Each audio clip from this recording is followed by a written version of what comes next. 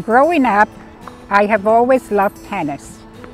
And we lived in an area near Crotona Park. And I used to see people over there playing tennis, but I never saw a person of color.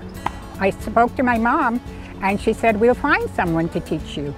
And after learning how to play tennis, I met Milton Alexander right here on these tennis courts and we became tennis teachers.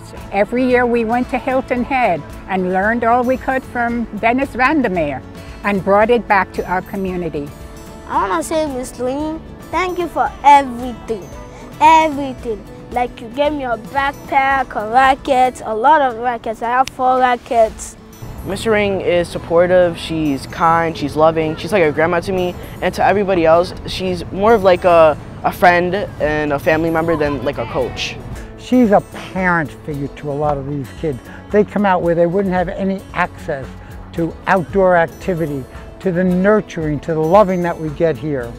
And that's what motivates me today, to take this chance and come out here and continue with these kids who beg me to come out, who want to have a supervised program. She's terrific. I wish everybody could be like Miss Lorraine. I wish I could be like Miss Lorraine. I just want to say, Miss Lorraine, you're a great person.